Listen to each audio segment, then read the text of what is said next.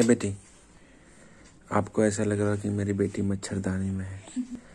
लेकिन ध्यान से देखेंगे तो मच्छरदानी में मेरी बच्ची नहीं मैं मच्छरदानी में हूँ।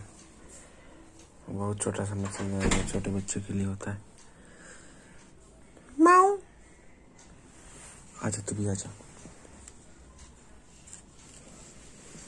नहीं मेरा है। मैं खरीदा हूँ मेरा है। मेरा है। जो सिर्फ़ तेरा है मेरा